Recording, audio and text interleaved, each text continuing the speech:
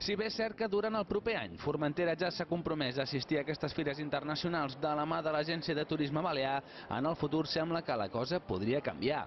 L'elevat preu per assistir-hi és un dels motius pels quals es plantegen la no assistència en el futur. Haurem de veure si ens val la pena pagar, com s'està pagant a dia d'avui, al voltant dels 400.000 euros per tenir l'estant a Fitur, a ITV de Berlín, o la Volta del Market que anem la setmana vinent de Londres, doncs aquests més de 400.000 euros segons la fira i les metres dades exactes que tinguin contractats, per nosaltres ens suposa una inversió, eh, crec que desproporcionada. El cost és assumit per totes les illes i des de la mano de les pitiuses apunten que, a més, la repercussió tampoc no acaba de ser la que voldrien. Ara, amb el traspàs de la promoció turística, s'obre un ventall de possibilitats. Nous mercats com el xinès o l'islandès, que podrien millorar les puntes de les temporades o bé implementar sistemes de captació de turistes. Prioritzarem per fer accions que tinguin més retorn, ja sigui a les xarxes socials, en portar premsa cap aquí o agents de viatge amb els famosos viatges de familiarització i així són, creiem que són encara una mica antigues fórmules però que tenen eh, a dia d'avui encara donen resultats. Per poder escometre aquests i d'altres objectius,